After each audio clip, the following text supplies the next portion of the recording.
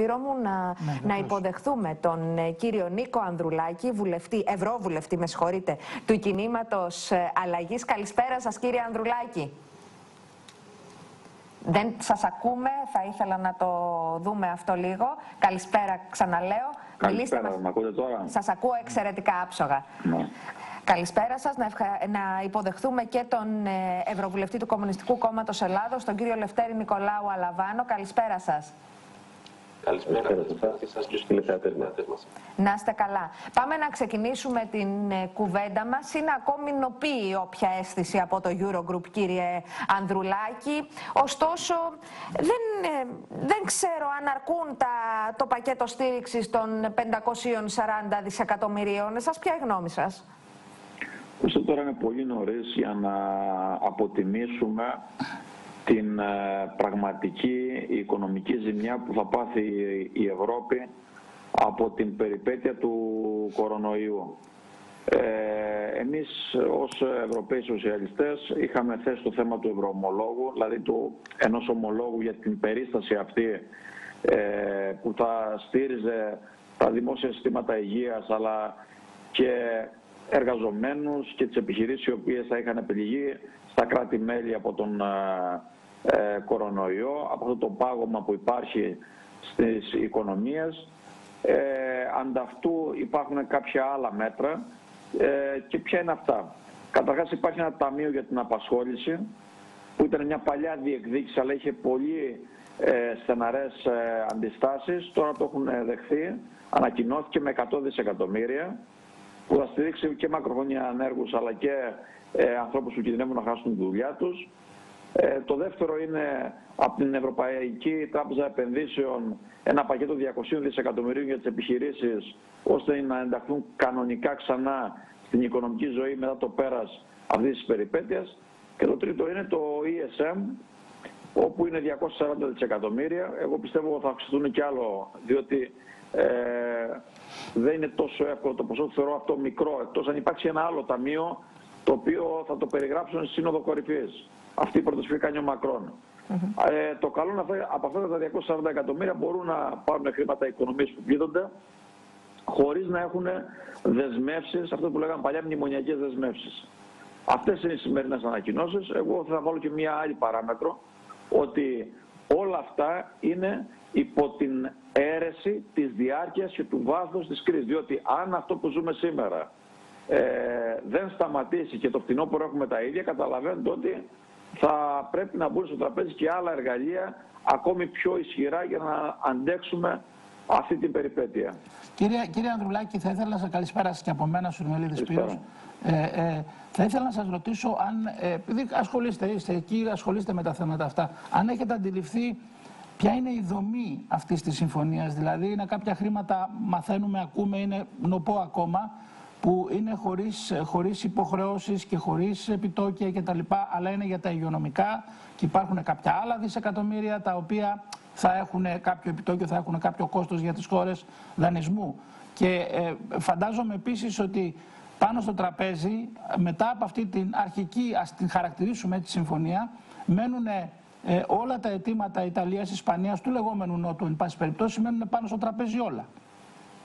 Ώστε εγώ πιστεύω ότι επειδή από ό,τι φαίνεται το θέμα του ευρωομολόγου δεν μπορεί να περπατήσει τώρα άμεσα, θα συζητηθεί η ύπαρξη ενός ταμείου, δηλαδή η ενδιάμεση πρόταση, πρόταση μακρόν, να το πούμε έτσι περιγραφικά, όπου θα έχει μια διάρκεια μιας πενταετίας, ε, θα έχει ένα πολύ μεγάλο ποσό μέσα, το οποίο θα τραβήξουν από εκεί οι ευρωπαϊκές οικονομίες, οι πιο ευάλωτες ή αυτές που έχουν πολύ μεγάλο κόστος, ε, χρήματα για να αντιμετωπίσουν την οικονομική κρίση.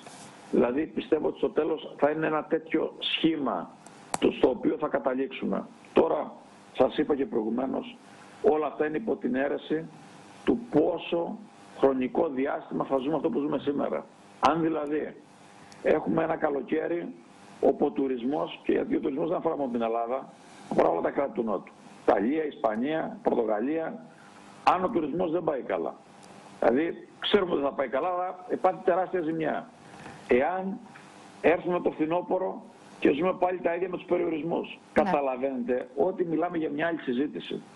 Οπότε πρέπει για μένα τουλάχιστον αυτά που πρέπει να πάρει η Ελλάδα να τα πάρει αυτά τα ταμεία, να τα αξιοποιήσουμε σωστά και τι εννοώ σωστά, όχι με οριζόντιο τρόπο, με κριτήρια αξιοκρατικά, ποιοι πλήττονται περισσότερο, ποιον επιχειρήσεων έχει πέσει περισσότερο τζίρος από τα προηγούμενα χρόνια, μακροχρόνια άνεργοι, ποιοι εργαζόμενοι κινδυνεύουν να χάσουν τη δουλειά τους και με αντικειμενικά κριτήρια να αξιοποιήσω αυτά τα χρήματα, δηλαδή να φύγουμε από το οριζόντιο, ώστε να μην πάμε σε μια νέα εποχή αύξηση κοινωνικών ανισοτήτων και ενός νέου κινδύνου να ζήσουμε αυτά που ζήσαμε στην αρχή του μνημονίου.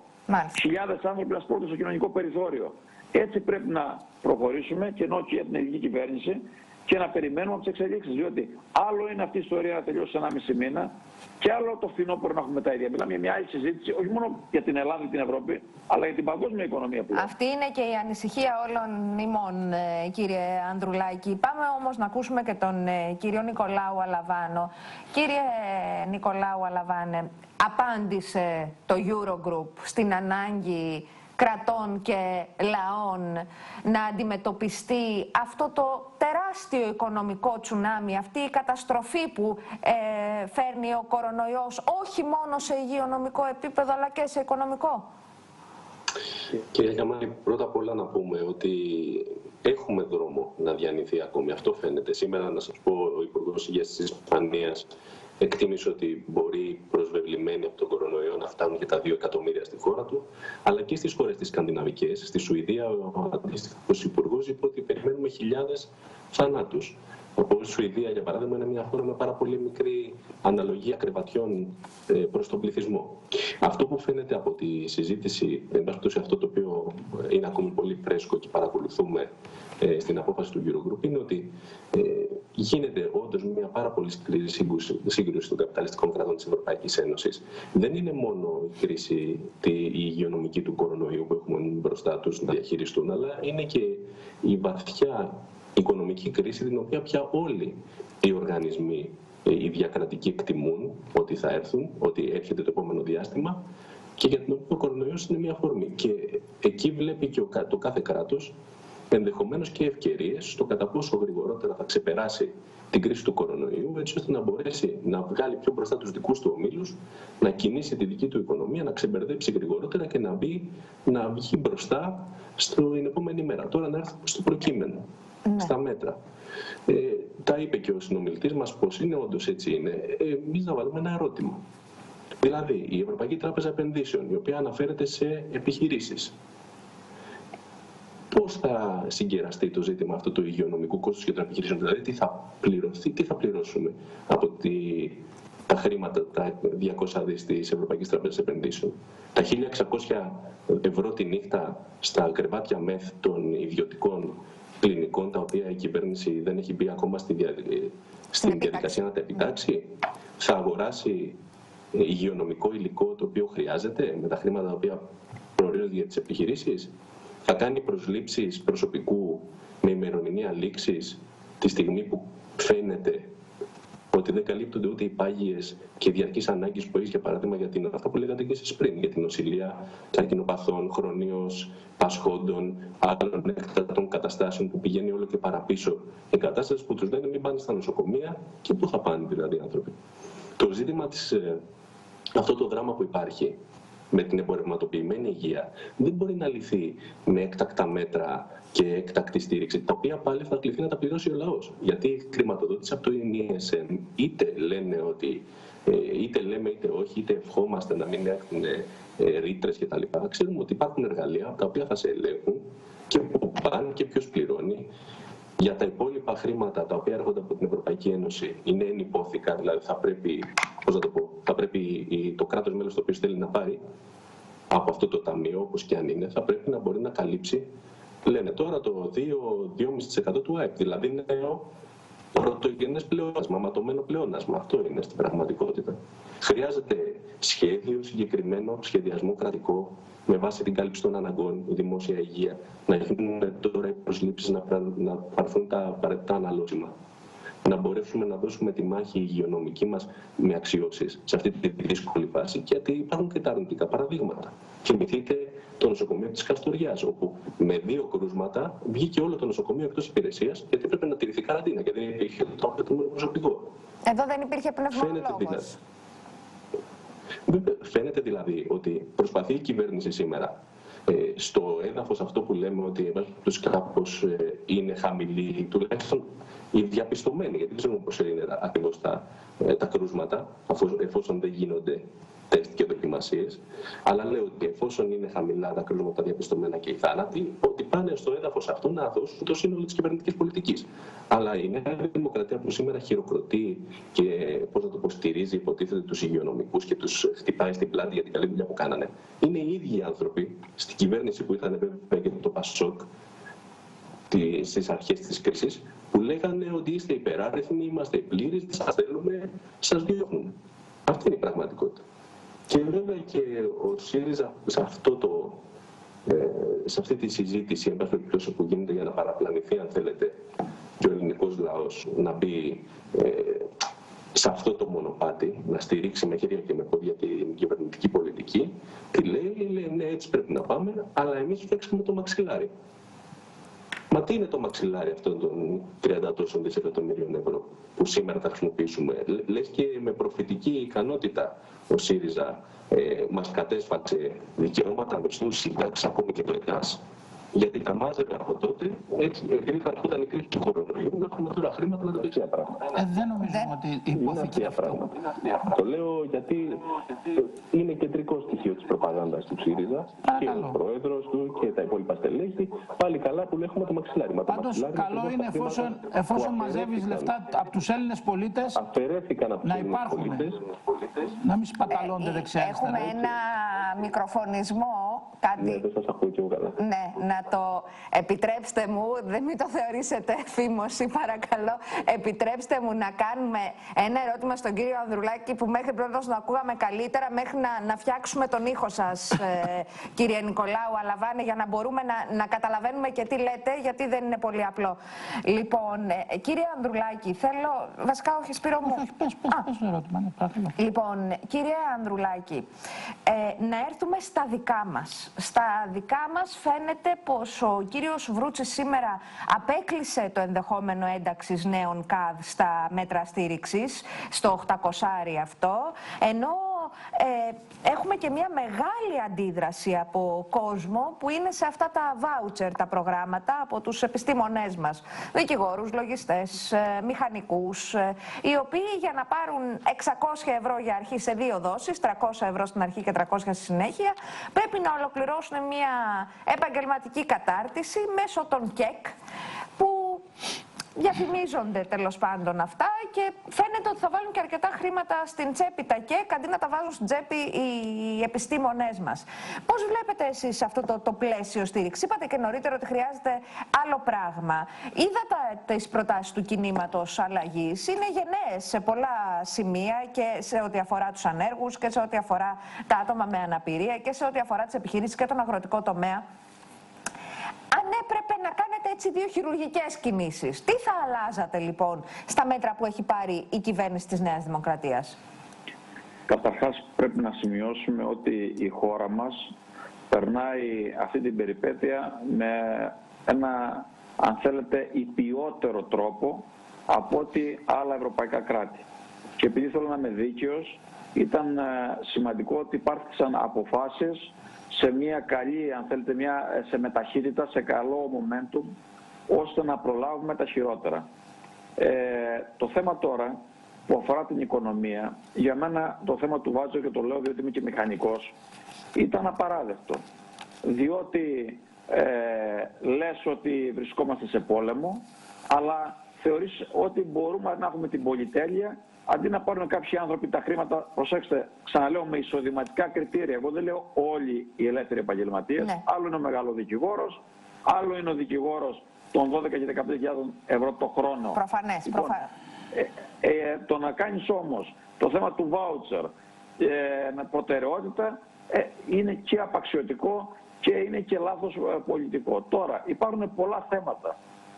Εγώ δεν θα πω στη διαδικασία να μιλήσω για εμπροσοβαρή μέτρα, όπως είπε ε, ο ΣΥΡΙΖΑ, διότι για μένα και αυτό είναι λάθος, διότι δεν ξέρουμε πόσο τελικά θα είναι το βάθος της κρίσης. Άλλο είναι ένα μήνας, άλλο δύο, όπως είπαμε, άλλο μέχρι το πινόπορο. Πρέπει λοιπόν να είμαστε προσεκτικοί. Αλλά να δούμε και κάποιες κατηγορίες που αντικειμενικά έχουν πρόβλημα. Δηλαδή, υπάρχει το θέμα της διατροφικής αλυσίδας. Εγώ έκανα μια ερώτηση στον Επίτροπο χθες. Πρέπει να δούμε πώς θα στηρίξουμε τον πρωτογενή τομέα. Βλέπουμε εικόνες αγροτών να πετάνε ντομάτες, αγκούρια, σκουπίδια. Αυτά πρέπει να σταματήσουν. Πρέπει να βρούμε έναν τρόπο να στηρίξουμε τους αγρότες. Οι αλληλείς, οι αλληλείς έχουν πάθει πολύ μεγάλη ζημιά. Εμείς εκταμιεύσαμε, ψηφίσαμε στο Ευρωκοινοβούλιο και θα εκταμιευθούν 150 εκατομμύρια για να στηρίξουμε την Ευρωπαϊκή Αλληλεία. Αυτά είναι ε, είναι λίγα χρήματα. Πρέπει να βρούμε τρόπο να, να στηρίξουμε ακόμη περισσότερο. Έχει, πέσει, έχει καταβαραθεί η κατανάλωση ε, ψαριών. Δηλαδή είναι συγκεκριμένα πράγματα τα οποία πλέον μπορούμε να τα αξιολογήσουμε αντικειμενικά και να φτιάξουμε προτεραιότητες. Και βάσει αυτών των προτεραιοτήτων να υπάρχει σιγά σιγά ένα ολοκληρωμένο σχέδιο. Κάτι άλλο που θέλω να πω, το θέμα του τουρισμού.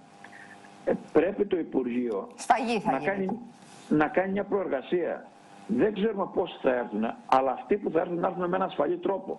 Διότι υπάρχει κίνδυνος. Εάν έρθουν από χώρες που έχουν υψηλά ποσοστά ε, νόσησης, πρέπει εμείς να βρούμε έναν τρόπο πώς θα ελέγχονται αυτοί οι άνθρωποι που φτάνουν στην Ελλάδα. Όλα αυτά θέλουν ένα σχεδιασμό, διότι δεν μπορούμε να χάνουμε χρόνο. Εγώ θα σας πω και κάτι τελευταίο για την οικονομία. Επειδή θα γίνει μεγάλη συζήτηση τα επόμενα χρόνια για το πώς θα ξεπεράσουμε αυτή την κρίση. Η Ευρώπη έχει πολλά ελλείμματα. Εγώ δεν υπερασπίζομαι τυφλά λανθασμένες πολιτικές. Πρώτον σας πω κριτική. Αλλά εάν δεν κάνουμε μια γόνιμη αντιπολίτευση στις λανθασμένες πολιτικές, δηλαδή σε ό,τι η κυρία φον ντερ Λάιεν έχει εξαφανιστεί, δεν υπάρχει φωνή της Επιτροπής. Δηλαδή είναι φοβερό. Αν είχαμε τον Γιούνκερ πρόεδρο, θα είχε πει πέντε κουβέντες, θα είχε ασκήσει μια πίεση. Θυμόμαστε τι έγινε τα προηγούμενα χρόνια. Πώς σε κρίσιμες στιγμές είχε μια τοποθέτηση. Η κυρία φον ντερ Λάιεν περισσότερο εμφανίζεται ως επίτροπος Γερμανίας παρά ως πρόεδρος της Επιτροπής.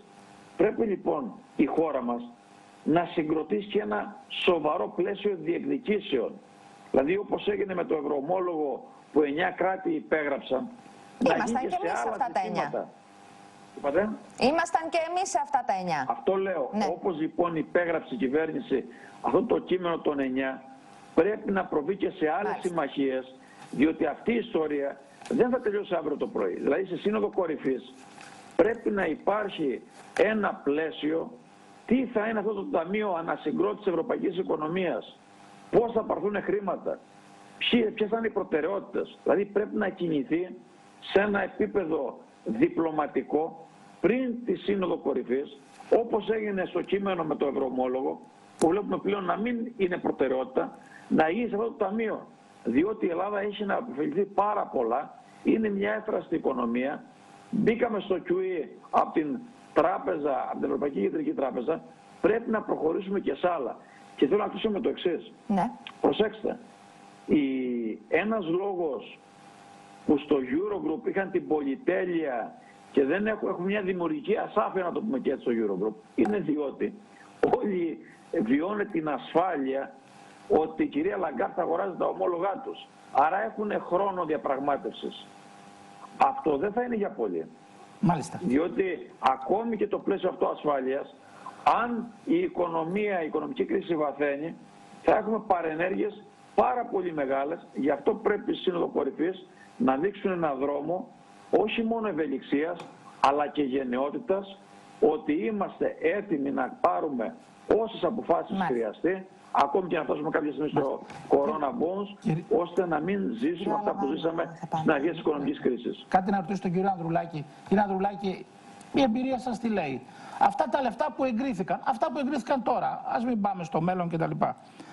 Πόσο πραγματικά γρήγορα και έγκαιρα μπορούν να φτάσουν σε ένα μακροχρόνιο άνεργο, το αναφέρατε και προηγουμένως ότι είναι προτεραιότητα εσείς, ή σε μια επιχείρηση. Τι λέει, θα μπορούν να φτάσουν σχετικά γρήγορα στους επόμενους δηλαδή Μήνες; Ή είναι αδύνατο αυτό; Ταμείο, ή συζητάμε κάτι άλλο πια; Κύριε Σουμερλή, το Ταμείο για την Απασχόληση δεν είναι μια τωρινή πρόταση. Εμείς το διεκδικούσαμε τουλάχιστον μια οχταετία.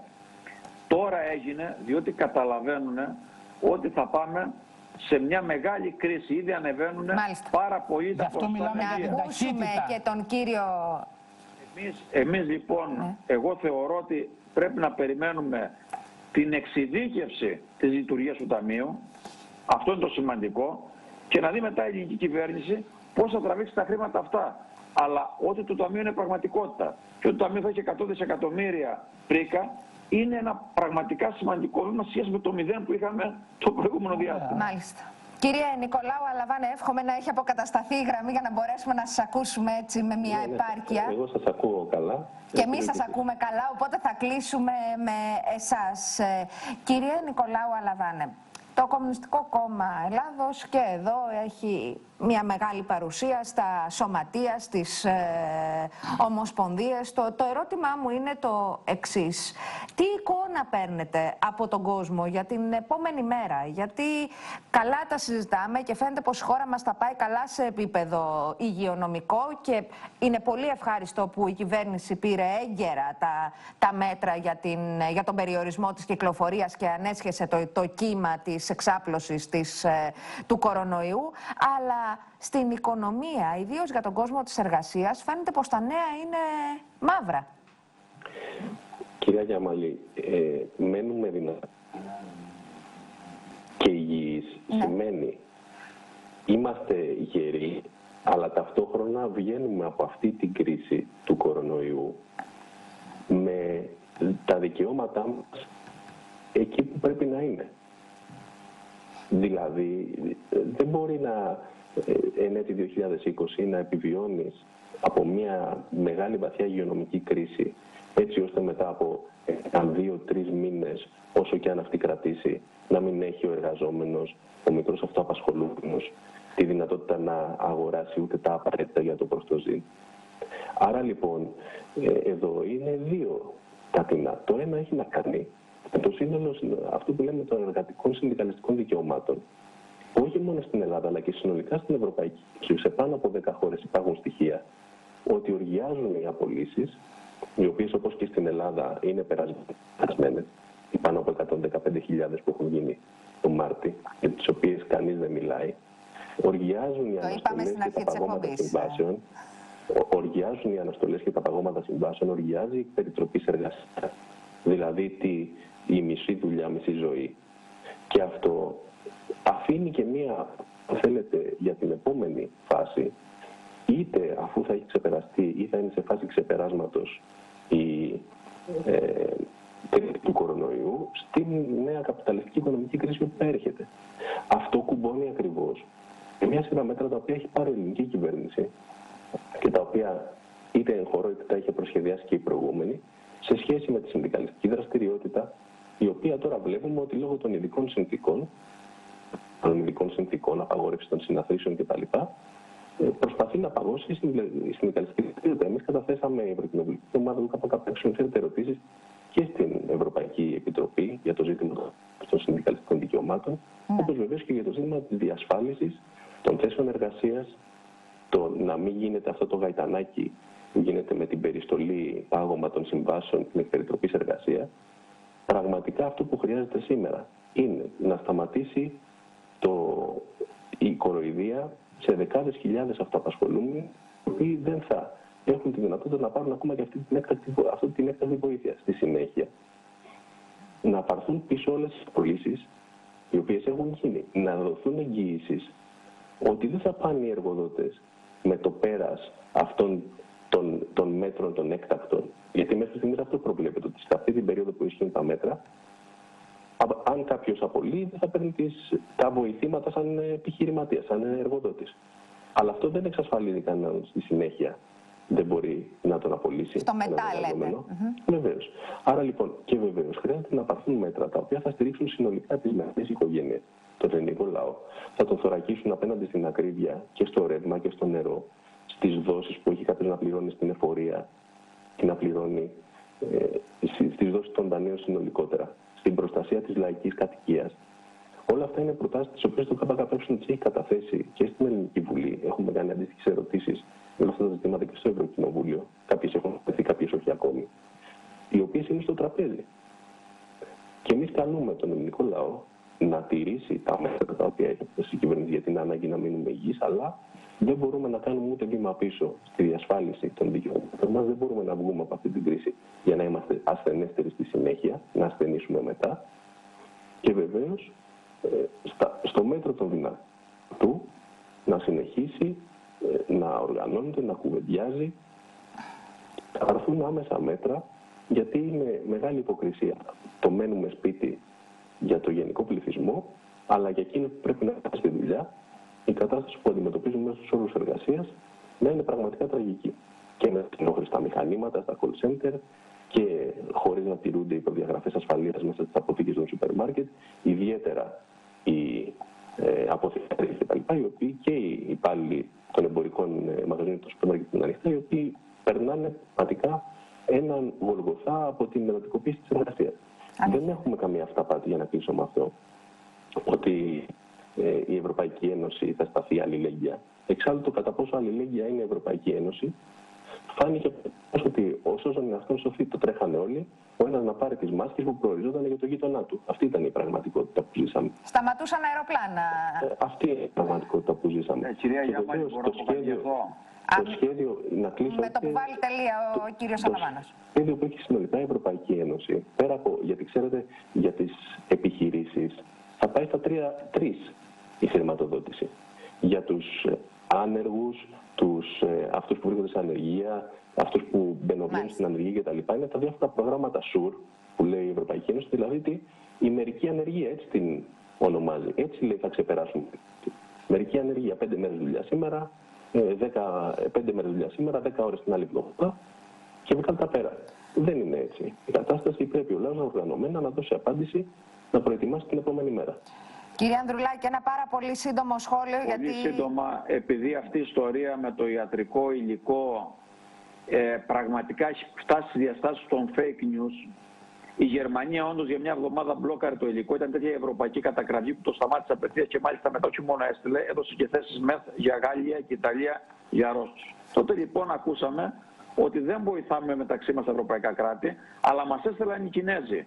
Θέλω λοιπόν να ξέρετε ότι στείλαμε 15 ή 17 του Ιανουαρίου 31 τόνους υλικό η Ευρωπαϊκή Ένωση στην Κίνα και απλά η Κίνα τι έκανε, ευχαρίστησε και έστειλε και αυτή κάποια πράγματα στα κράτη που πλήττονται. Ένα. Και δεύτερον, ξέρει πολύ καλά ο κ. Σαλαβάνος, εγώ είμαι εισηγητής του Ευρωπαϊκού Μηχανισμού Πολιτικής Προστασίας στο Ευρωπαϊκό Κοινοβούλιο. Ναι.